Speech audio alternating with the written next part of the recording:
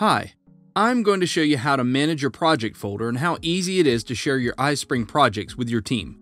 First things first, what is a project? A project in iSpring is a combination of your original PowerPoint presentation file and the respective project folder that stores your project files. This means that your iSpring course includes not only your PowerPoint presentation with the slides, but also in a separate folder all of the resources that you added to the course like audio, quizzes, videos, and more. iSpring creates this folder automatically when you go to the iSpring Suite tab in PowerPoint and add something to your project. This folder is labeled under the same name as your PPTX file. The best place to store your iSpring project is on your local drive because it'll be faster and provide easier work with resources. Storing your projects in other places like OneDrive or a network drive will never provide you with the same experience due to latency. We recommend that you put every PowerPoint presentation that will become an iSpring project into a separate folder.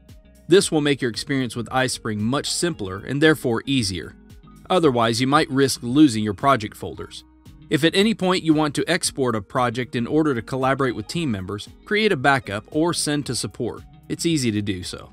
I want to share this project with my colleague Alex so he can make sure all of the information is correct. I'll start by heading to the File tab and then selecting Share. When the export window pops up, I will select Share iSpring Suite Project here and then choose Export Project. Now I can decide where I want to save the folder by specifying a folder name and a new location of the backup folder. I will also want to select this Create Zipped Package box to ensure that I get a zip file.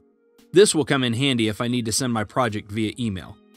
Next, I will select Export to copy this PowerPoint presentation to a new location. The zipped package will contain a copy of the PowerPoint presentation as well as the iSpring project folder. And that's it. Now all I have to do is send an email to Alex and I'm ready to go. I told you it was easy.